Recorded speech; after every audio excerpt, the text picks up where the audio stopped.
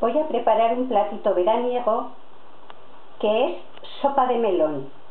Para ello necesito melón, sal, pimienta molida y jamón. Hemos cortado unas rajitas de melón, les hemos quitado la piel, las pepitas y lo hemos troceado. Lo ponemos en un recipiente porque ahora lo vamos a batir bien y le añadimos sal y pimienta molida a nuestro gusto.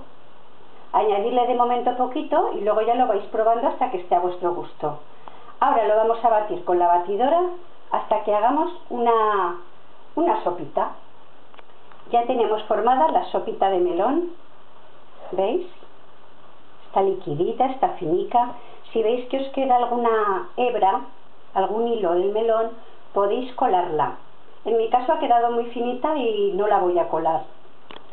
Bueno, ahora esto lo vamos a reservar bien fresquito en la nevera. Ahora vamos a hacer un crujiente de jamón.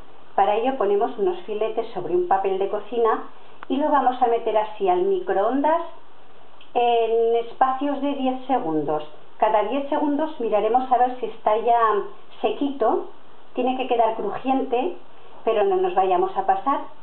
Entonces tened mucho cuidado y cada 10 segundos lo miramos a ver. Hemos tenido unos 40 segundos aproximadamente el jamón y ahora ya se nos ha quedado, ¿veis? Completamente crujientito. Entonces con esto vamos a decorar nuestros chupitos de sopa de melón. Y aquí tenemos finalizados ya nuestros chupitos de sopa de melón con crujiente de jamón. La combinación es estupenda y tomarlo fresquito en los días de calor es una maravilla. Y ya veis que elaboración, pues ninguna. Entonces supongo que os animaréis a hacerlo. Esta receta se la voy a dedicar a Inma y Paco, de Jerez,